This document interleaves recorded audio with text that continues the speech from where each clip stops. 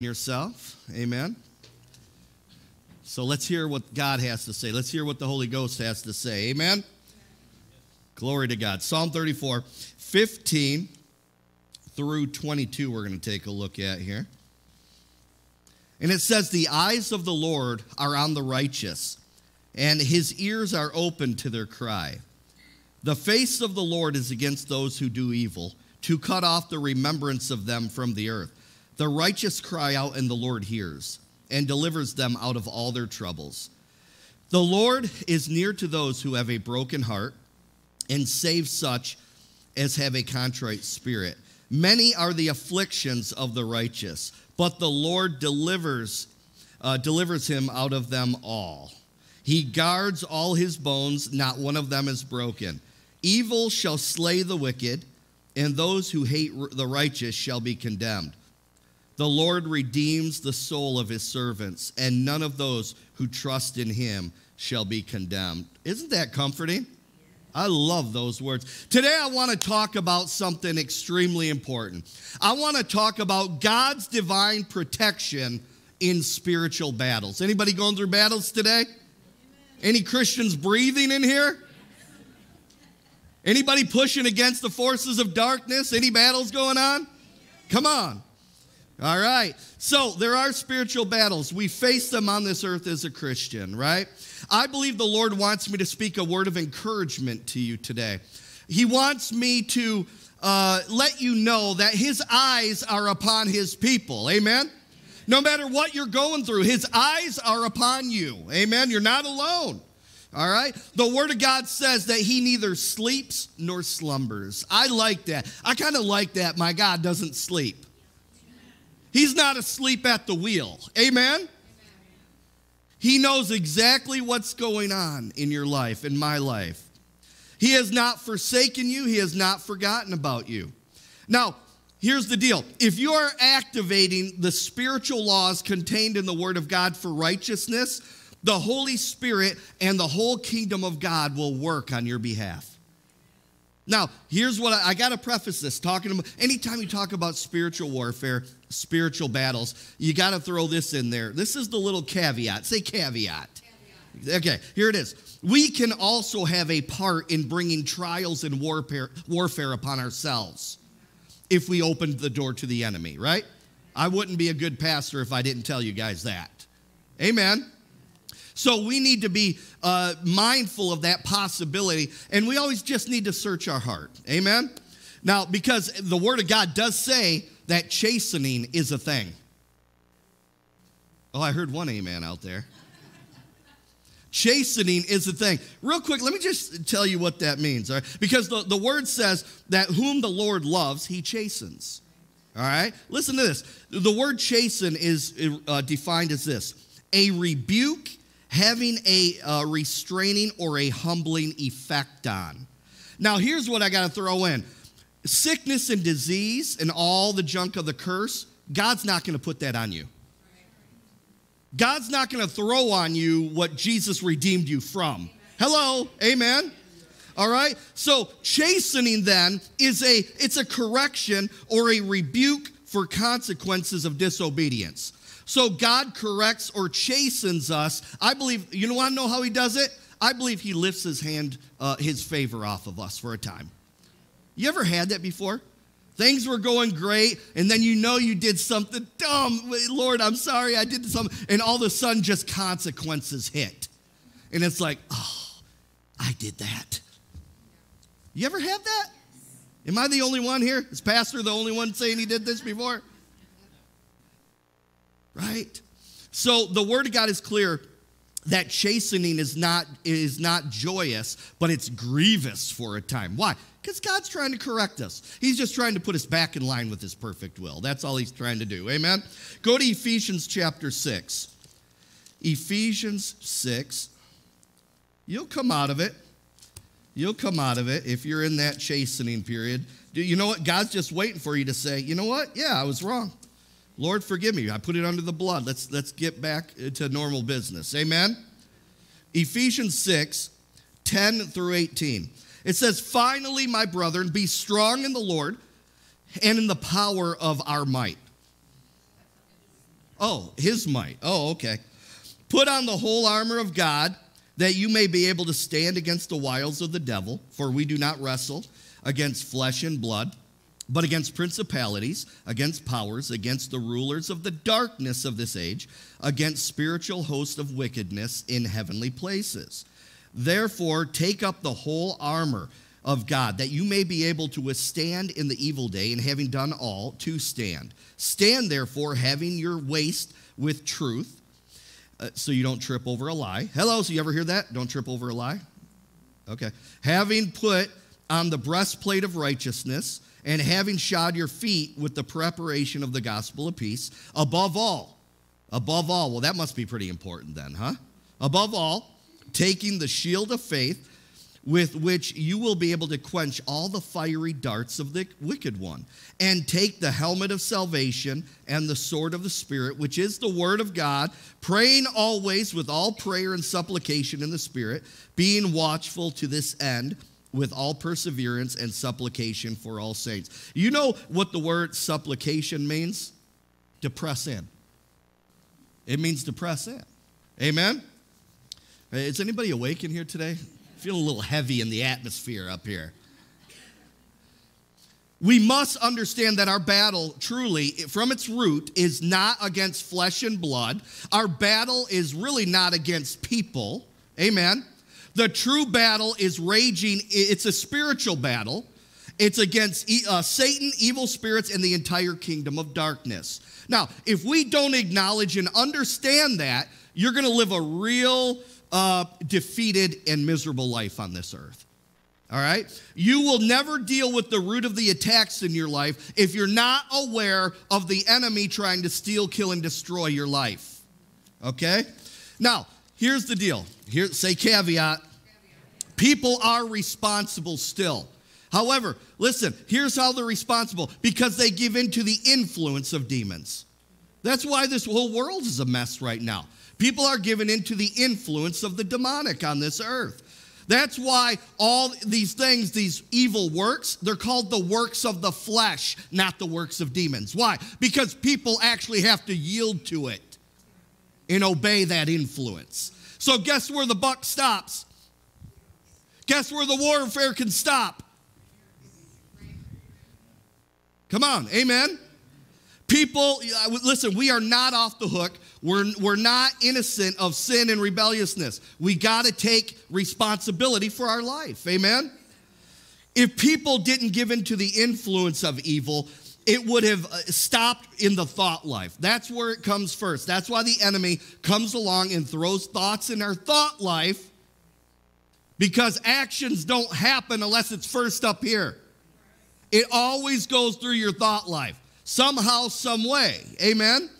I mean, so that's where the warfare can start and that's where it can end by casting down imaginations and every high thing that exalts itself against the knowledge of God, right?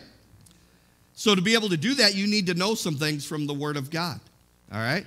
And that's why the, our thought life needs to be that filter. It's that sorting out. We used to have a carrot farm in Imlay City. I used to work on my dad had one. And there's someone, the, carrots would come from the truck on a belt, and there's people on both sides, and they're looking. They're looking for good carrots and bad carrots. The good carrots keep on there. Bad carrots, they're throwing them. They're throwing them out. They're, and they'd be sold for deer feed. So they're, they're, so, they're sorting them out. That's what you need to do in your thought life. Thoughts come and go, and you need to be sorting them out. Nope, that's a bad one. Shh, throw it out. That one, oh, that's good. That's in line with the word keep it in. Are you getting it? So we are in dire need as the body of Christ of supernatural discernment and protection in this hour. You agree with that? Psalm 91 1 says this it says, He who dwells and remains in the secret place of the Most High shall abide under the shadow of the Almighty. Now, the word translated Almighty there, all right, that is referring to God, and that Hebrew word is Shaddai. Maybe you heard the, the, the name El Shaddai. Anybody know what El Shaddai is? It means God Almighty, that He is above everything. It's talking about His greatness and strength over everything, right? That's why we are only victorious in spiritual warfare when we remain in Him. when we're led by Him. Amen? Don't try to do it on your own. We need the Holy Ghost. Amen? We need the Word of God. So it's saying that He's the all sufficient God. Say all sufficient. So, what is it that you need to put you over into victory today? God is able and willing to put, you, put that over, but He needs us to cooperate with Him. We need to cooperate with Him, all right? With God. Say, with God. I am victorious. All right. So the secret place of the Most High is found uh, in abiding in Christ. You know what that you could say? Obedience. By abiding in obedience to the word of God. Jesus said, If you love me, you'll keep my commands. So you're, you're, if you're following his commands, you have a heart that's truly bent toward him. You're in that secret place of the Most High God, and his shadow is covering you. Don't step out of that shadow. Don't, that's where bad things can happen. Anybody stepped out of the shadow before? Stay under that shadow. Amen. We got an eclipse coming, right? We know a little something about shadows coming, don't we? All right. So remember, the secret place is not meant to be a secret from us. The secret place is a secret from our enemies, from the kingdom of darkness. Amen? Oh, I like that. So we must keep that line of communication open between us and our Heavenly Father. All right. So I'm convinced of this. I'm convinced that God is so gracious, that God is so merciful, that He tries to get our attention when danger's coming our way. You agree with that? What kind of a friend would I be if, I, if, if something there was danger coming your way and I didn't warn you of it? Right? A bridge taken out all right? And you knew that bridge was taken out, and you see cars starting to drive, and you're just kind of letting them go. Yeah, go ahead. No, wouldn't you get in the way and say, Stop? Think about it.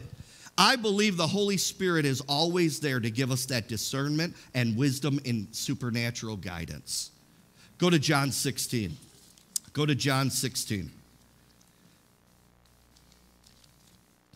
John 16, I want to look at verses 12 through 15 here.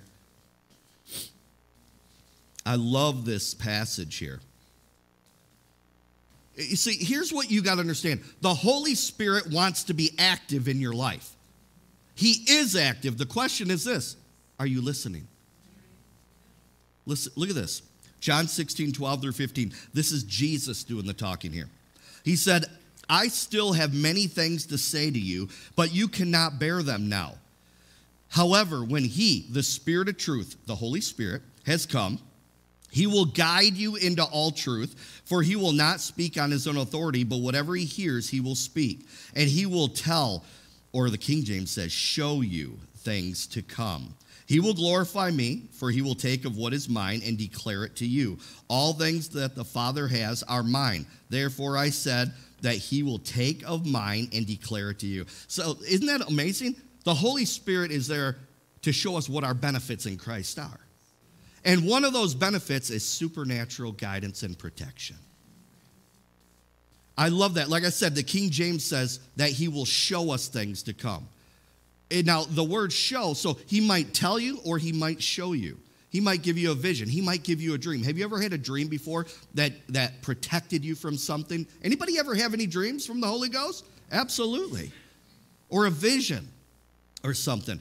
As a Christian, really, when you think about this, nothing should really take us off guard. Nothing really should surprise us in our life if we're maintaining that close relationship with the Holy Spirit. If we're in tune with Him, we need to keep that line of communication open at all times. All times. The Holy Spirit is ready and willing to reveal every plan, every scheme, trap that the enemy has tried to place in our path. I don't know if you know this or not, but the enemy is bad and he's trying to destroy us. He's putting things in the past, right? The, the enemy, by the way, will send people into your life too that aren't supposed to be there. He, he's a counterfeit of everything that Satan, uh, that, uh, everything that God does. God sends people in to bless your life. Satan sends people into your life to try to destroy you. So, Not only does he want us to know what the enemy is planning against us, but he's ready and willing to give us a battle plan and wisdom so that we'll be protected. Go to James chapter 1. James chapter 1. And I want to look at verses 5 through 8. That's the Holy Spirit's job is to help us stay ahead of the enemy. He wants us to stay ahead of what the enemy's trying to do, right? That's why when the Holy Spirit gives you a direction that you don't understand, listen, it's not your job to try to figure out. Just obey him. But Lord, that don't make sense to me. Fine, you can keep on walking. Go ahead, take those 10 more steps past when the Holy Spirit showed you, and there's going to be trouble and consequences ahead. Amen? Amen? This is a sobering message. We need to hear it though right? That's what church is. This is what this time is, is to get in the presence of the Lord and to hear the Lord's trying to get our stinking thinking straightened out. Amen? Look at this James 1 5 through 8. And it says, If any of you lacks wisdom, let him ask of God, who gives liberally and without reproach, and it will, and it will be given to him. But let him or her ask in faith with no doubting. For he who doubts is like a wave of the sea, uh, driven and tossed by the wind. For let not that man suppose that he will receive anything from the Lord. He is a double minded man, unstable in all of his ways. So I want you to notice that God is a liberal giver of wisdom. And there's one thing that he requires. Yeah, we'll say two. He requires you to ask for it because it shows you're interested. And it, then it says to ask in faith. So that means there's a chance that we could ask, but it's not in faith. Why? You know what I think that means, not asking in faith? When you ask God to look spiritual, but you have no inclination to do what He's going to show you. Because you already made your decision up in your mind. I'm going to do what I want to do, but just just to make me sound spiritual. Lord, what do you want me to do? All right, thanks. I'm going to do my own thing now. Right? Anybody ever done this? Of course you have. Now listen to this. So spiritual or wisdom is spiritual knowledge, spiritual discernment, and how to deal with the root of a problem. This is what the Lord wants to show you. When you ask for wisdom, Okay, this he, he's not talking about earthly wisdom. This is talking about you're asking God, God, show me your perspective on this situation so I don't waste my time. I don't, Lord, show me your, your perspective. What he's trying to do is this when you're asking God for wisdom, let's just break this down. This is what you're doing, really. And this is what God wants you to do to have a heart for Him to show you the root of the problem. The, say root. There is a root to every problem. And usually you'll find the devil's fingerprints all over it. Amen? Look at Isaiah 59 19, the, the second part of it, you don't have to go there, but it says, When the enemy comes in like a flood, the Spirit of the Lord will lift up a standard against him. Some people read that. There, there's different arguments about that. When the enemy comes in, that's where some people stop it. Like a flood, the Spirit of the Lord will lift a standard against him. Then some people read it. When the enemy comes in like a flood, the Spirit of the Lord lifts up a standard. I say, who cares? The point is, God's lifting a standard up against the enemy. Stop arguing about it. Just go with the higher standard. Amen? So the Holy Spirit is always with, with us. He's always on guard for us. He doesn't sleep, He doesn't slumber. Amen? He's always ready to lift us above with that higher standard. Go to Psalm 91. Psalm 91. Let me show you something else. I'm telling you, we have divine protection in the battle. Are you taking advantage of it? Are you taking advantage of it? I'm telling you, these days, they're not going to get easier. The warfare is going to get worse. Get ready. Saddle up, partner. Psalm 91. Get ready, saddle up. We're going to ride at midnight. Here we go. Psalm 91, 11 through 13, I want to look at here. Look at this.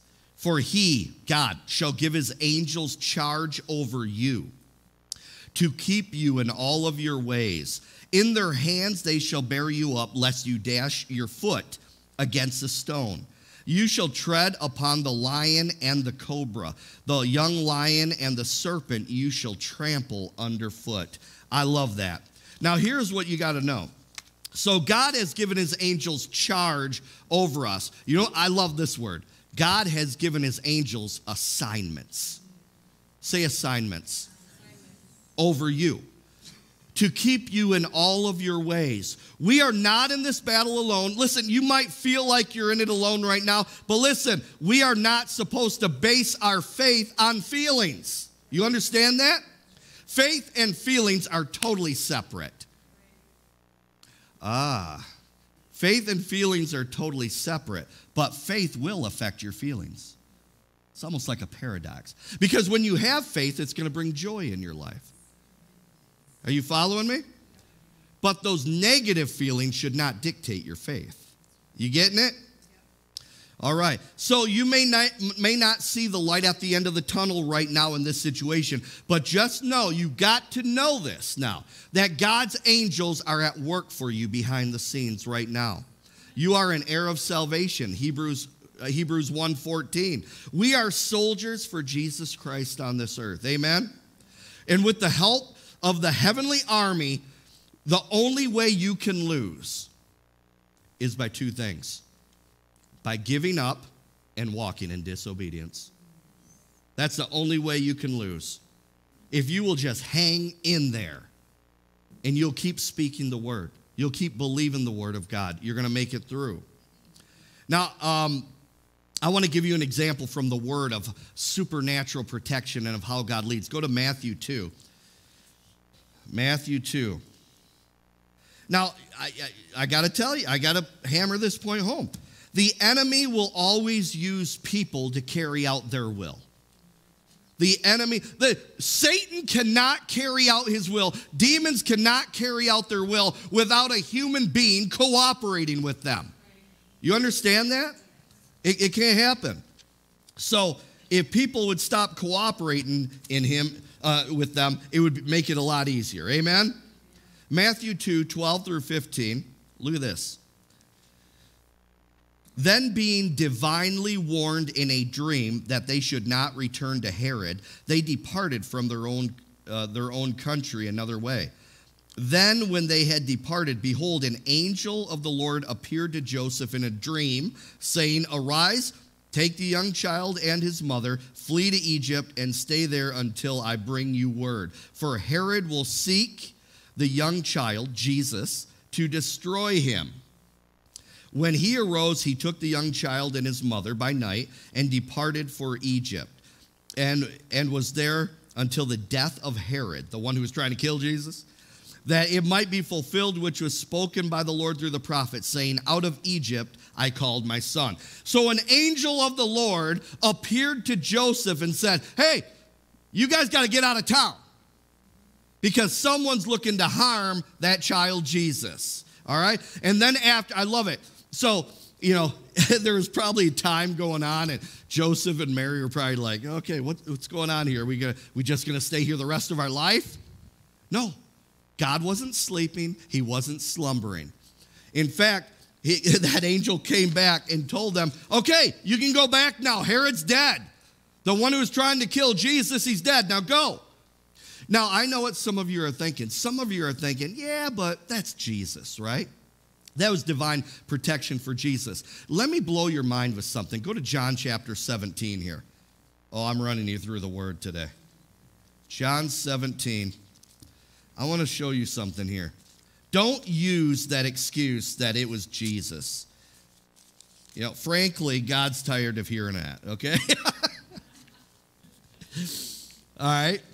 We, we can't use that excuse here. Uh, John 17, 20 through 23, let's take a look at. This is Jesus doing the speaking. Listen to this. I do not pray for these alone, but also for those who will believe in me through their word. Guess what? That's you and I. That they all may be one, unity, as you, Father, are in me, and I in you. That they also may be one in us, that there's a Trinity in us, Father, Son, and Holy Spirit, that the world may believe that you sent me. And the glory which you gave me, I have given them, that they may be one, just as we are one. There's the we again, Trinity. I and them, and you and me, that they may be per, uh, made perfect in one, in that the world uh, may know that you have sent me, and you and have loved them. There it is. Underline this right here. And have loved them as you have loved me. Our Heavenly Father loves you and I just as much as His Son, Jesus Christ. So don't bring this trash that that was just Jesus.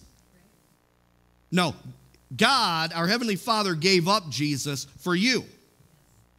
So He loves you just as much as He loves Jesus. So when He looks down at you, when He looks down at you as a Christian, guess what? He sees the Son Jesus living in you. The same way he protected Jesus on this earth, he will protect us in the same way. But we need to remain and abide in Christ. Amen? Why else would the, one, the major themes throughout the Word of God, why else would the major theme be don't worry and don't live in fear? Are you following me? Don't worry and don't live in fear because I'm with you. I love you just as much as I love my son Jesus. So, the more you read and study the Word of God, you can't help but realize how precious and special you are to your Heavenly Father. All right? And that's why the entire kingdom of darkness is after Christian relationships. He's after local churches so much. They are trying, the enemy's trying to sow division and discord, and they're trying to murder the unity in Christian churches and in the body of Christ as a whole. You understand that? So, why? So, Jesus prayed here that there would be unity among believers. So, where do you think the enemy's going to try to slap us? Right in the unity. It, it's, so, it's so easy to see. When Jesus, when the Word of God gives us a command, when it gives us an exhortation, when it gives us a warning, don't ever forget, God's trying to reveal the playbook of the enemy. I want you to read it that way. When you read that, you need to read it that way. Oh, well, if if if Jesus is praying for unity, where's the enemy going to hit? The unity. So guess what? Be on guard. Be on guard because that's where it's going to come from. Amen. Go to Psalm 46. Psalm 46.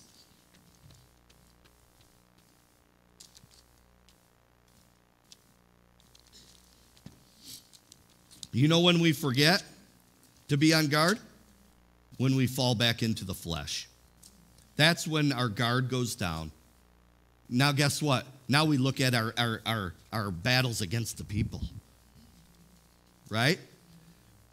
Now, Psalm 46, 1 through 3. Look at this.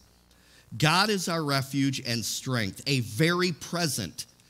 I mean, I'd be good if it just said present but very present? You getting it? Thank you, you too. I appreciate that.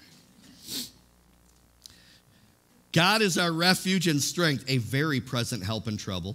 Therefore, we will not fear, even though the earth be removed, and though the mountains be carried into the midst of the sea, though its waters roar and be troubled, though the mountains shake with its swelling. Now, so very present help in trouble. You want to know what that means in the original? And listen to this an abundantly available help. An abundant avail, uh, available help. He will never leave us for, nor forsake us. We need to take hold of that spiritual reality. Now, verse 2 goes on to say, Therefore, we will not fear. And the very reason it gives us for not fearing is because God is a very present help in trouble. So, guess what? You got to believe that. You got to believe that. You must believe that.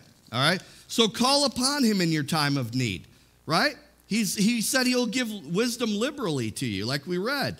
All right? He will not fail you. Call out the name of Jesus in that circumstance. Look at Psalm 46, 4 through 8 now. There is a river whose streams shall make glad the city of God, the holy place of the tabernacle of the Most High. God is in the midst of her. She shall not be moved. God, sh- God shall help her just as at the break of dawn.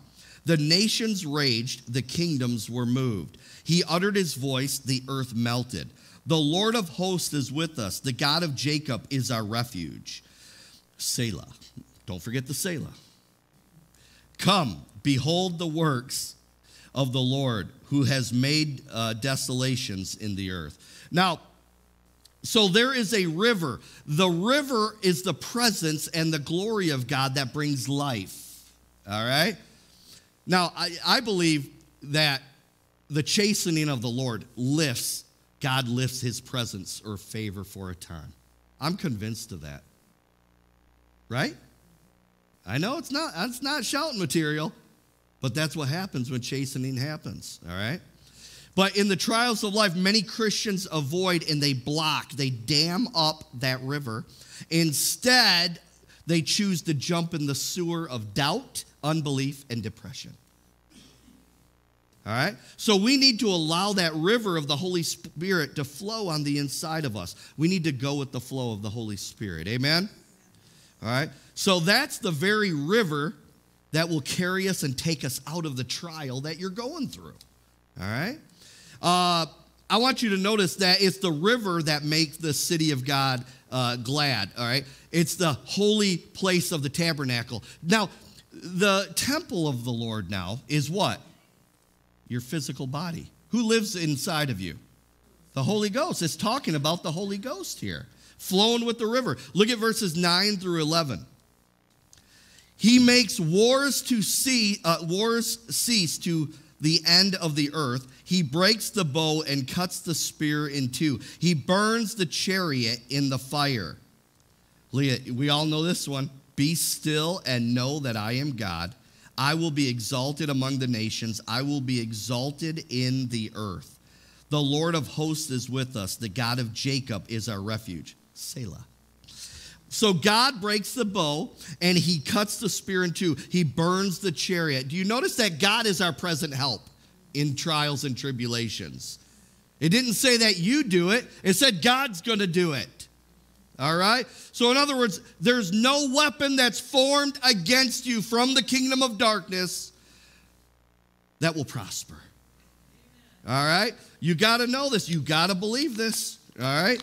Now, so verse 10 went on to say, Be still and know that I am God. Be still.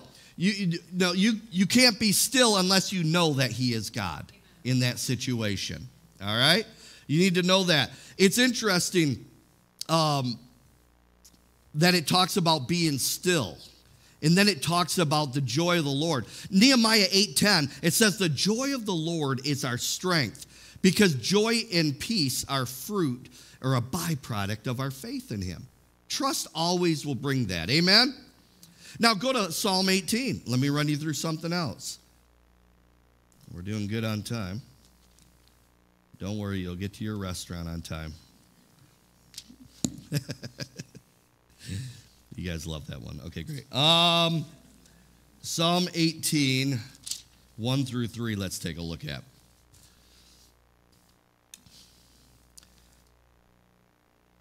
And it says, I will love you, O Lord, my strength. The Lord is my rock and my fortress and my deliverer, my God, my strength, in whom I will trust, my shield and the horn of my salvation, my stronghold. I will call upon the Lord who is worthy to be praised. So shall I be saved from my enemies. Now, Again, so this psalm has given us more evidence of God's saving and delivering power from our enemies. Verse 3, the psalmist said, I will call upon the Lord who is worthy to be praised, and so shall I be saved from my enemies. It takes your free will to call upon the Lord. Did you ever notice that? It's just not automatic. It takes your free will to call upon the Lord. And guess what? When you call upon the Lord, According to James 4 8, it says that you are drawing nigh to God and then he draws nigh to you. You make the first move and he comes more forward more. Amen? So when you call upon the Lord, you're taking that first step and you're asking God to intervene in that situation. Now, here we go. So it's because of your faith, because you believed enough to even acknowledge him in that circumstance, to acknowledge him in that trial. You activated the spiritual law of faith, and God loves faith. Amen? I want you to notice this that the connection that verse 3 makes between call up, calling upon the Lord and worthy to be praised. Listen to this. The word of God there, you got to catch this now. Though bump your neighbor, wake him up right now. Good, thanks. The word of God is revealing that calling upon the Lord should involve praising God. Calling upon the Lord involves praising God. Not a faithless calling in Him, but rather a faith filled declaration of praise to Him. You know what it's saying is? In your trial, start praising Him because it'll shift it to a positive direction. It'll shift your thought life to a positive direction. And I believe this is what it's talking about when it said David encouraged himself in the Lord because everything in the natural was negative for David in this situation he encountered. But it said he started encouraging himself. I believe he started talking about all the characteristics of God. That he is that he is a deliverer. He is my almighty God. He is the only one that can deliver me out of this. You know what? Here's what he did. David started preaching to himself. That's what encouraging yourself in the Lord is. David started preaching to himself. So go with me to Isaiah. I'm getting close to being done here, real close. Uh, Isaiah 55.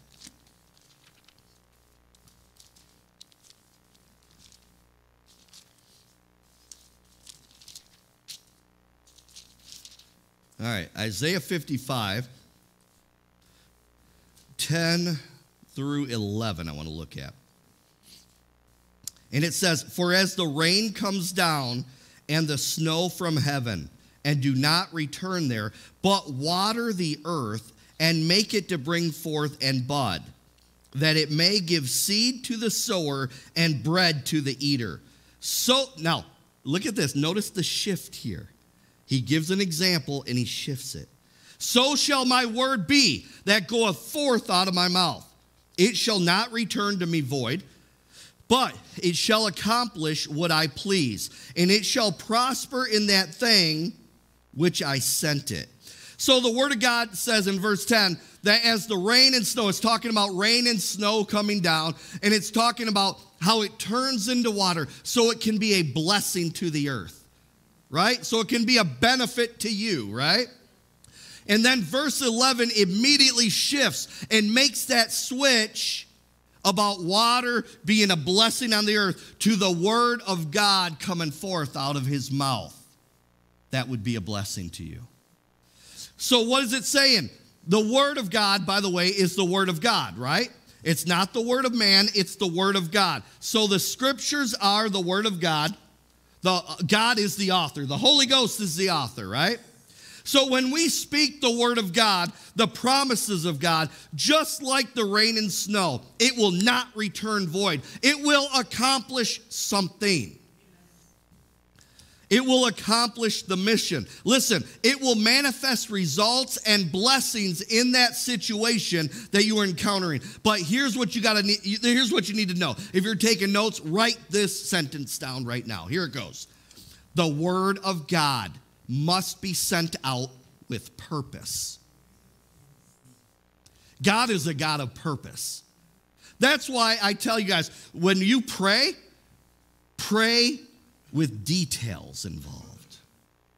Don't just be general. No, God, be very specific. Say specific. specific. The word of God must be sent out with purpose. Why? because God knows your heart. He knows if you're flinging something out just faithlessly, or He knows if you're sending it out with purpose. You're taking his word seriously.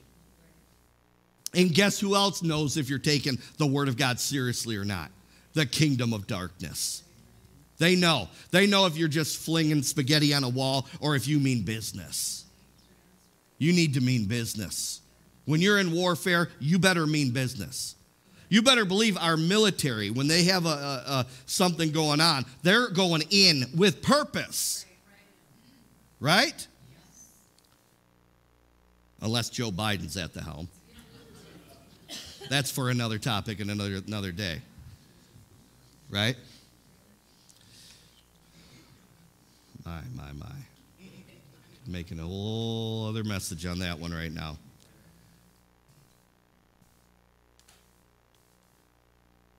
You don't leave America's weapons for the enemy to take. That's absolute treason.